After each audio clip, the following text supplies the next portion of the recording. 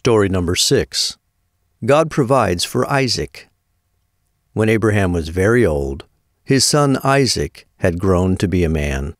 So Abraham sent one of his servants back to the land where his relatives lived to bring back a wife for his son Isaac.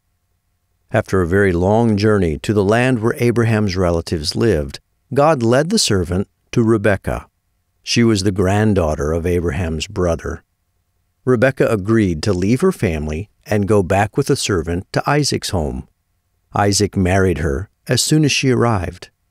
After a long time, Abraham died, and all of the promises that God had made to him in the covenant were passed on to Isaac. God had promised that Abraham would have countless descendants, but Isaac's wife Rebekah could not have children. Isaac prayed for Rebekah, and God allowed her to get pregnant with twins. The two babies struggled with each other while they were still in Rebekah's womb. So Rebekah asked God what was happening. God told Rebekah, Two nations will come from the two sons inside of you.